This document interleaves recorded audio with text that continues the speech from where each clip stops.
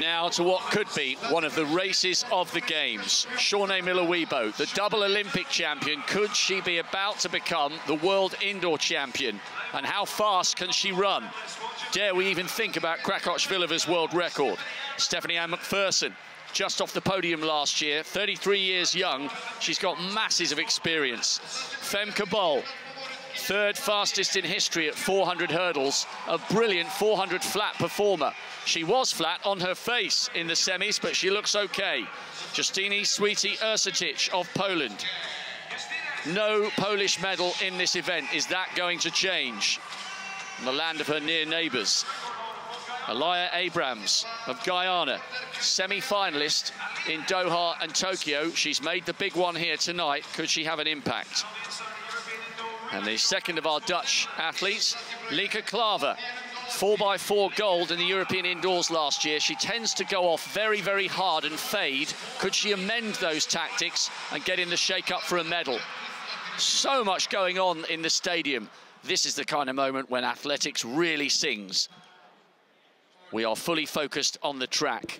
Bol against Miller-Uibo for the 400 metre title. No Bahamian has ever won the title.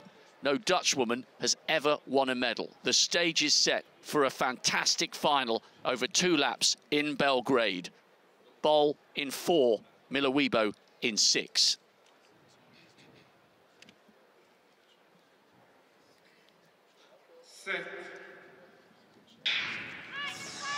Watch for Miller-Uibo going hard on the outside. She says that it's too tight over 200 and she can't always get into her rhythm. She got a bronze a few years ago and said she was finished with indoor running.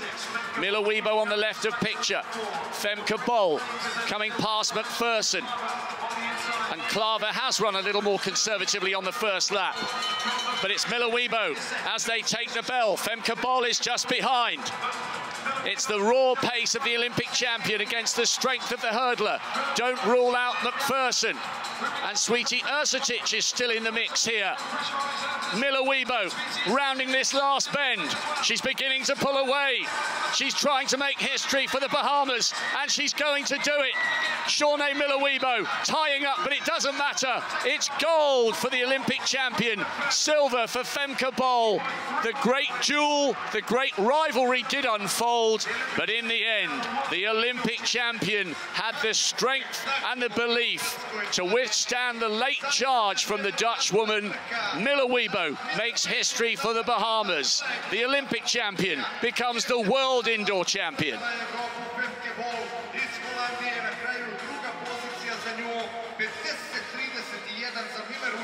Femke Bol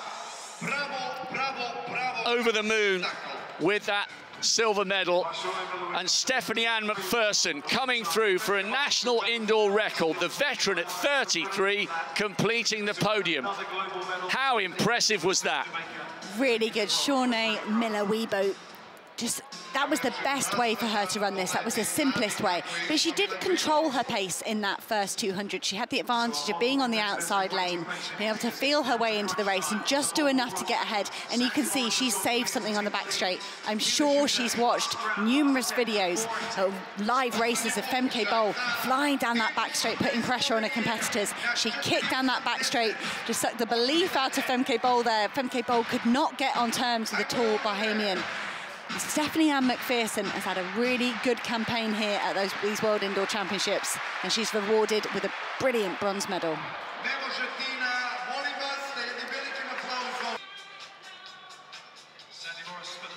Miller-Uibo making history for the Bahamas. Femke Bol smiling, and she should be for the silver, and McPherson taking the bronze.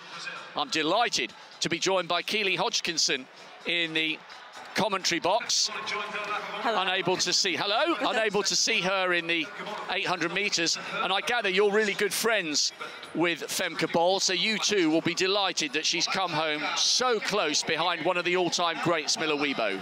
Yeah, Femke. I've got to know Femke over the last couple of years as we've um, we've got the same agent. But uh, yeah, she ran really well. I think after the semi-finals when she fell over, she might have learned from that. I see she got out harder, uh, but Miller-Uibo was always going to be really hard to beat. But she should be really proud of herself. And I think it should also be said you've made a decision with real maturity because people would have had you as one of the favourites, if not the favourite, come the 800 metre final. A little bit of a niggle. You've decided discretion is the better part of valour, and all roads lead to Oregon for the summer, and then followed by the Commonwealth Games in Birmingham. Yes, um, unfortunate for myself. Uh, I am really gutted to miss out on the World Indoor Championships, but yeah, I think a mature decision, you know, for me and my team. Um, all eyes do lead to Oregon now, and the Commonwealth and Europeans, very big year ahead. So, yeah, that's what's important, and uh, we'll get myself right and healthy, and we'll move on from this. And how good has it been from an athlete's perspective to be performing in front of big, vociferous crowds once again? I know, it's really good. I managed to experience it in Birmingham. Um, unfortunately, I haven't didn't step out on the track today, but uh, yeah, it's nice to have that atmosphere in, you know. Um, it really, I think it boosts performances, it makes people feel good, and it's nice that families can come as well again, which is nice, you know. I know some people haven't seen their, their children maybe run in, in a couple of years, so it's really good. And great to have you with us in the commentary box. Stick around for another few minutes.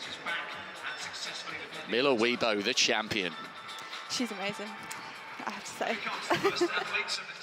Shaunae Miller-Uibo takes gold. Another glorious moment for the Bahamian. She's one of the all-time greats. Femke Bol, no disgrace with that silver medal. And Stephenie Ann McPherson, a national indoor record. The veteran taking the bronze.